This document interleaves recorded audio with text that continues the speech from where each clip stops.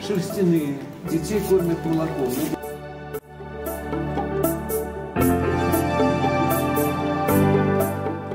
А они либо в чужих норах, либо просто по земле, там среди опавшей листвы в траве носятся.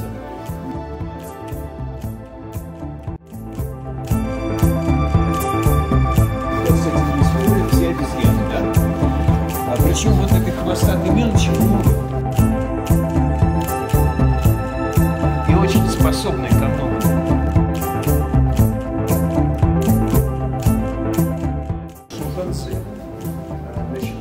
создает э, технологии. Скажем, вот рядом с нами полно в огромных количествах живет зверюшка родом, может быть, из Вьетнама. Вот такая мышка большая, называется серая крыса. Так, про эту зверюшку что-нибудь знаете?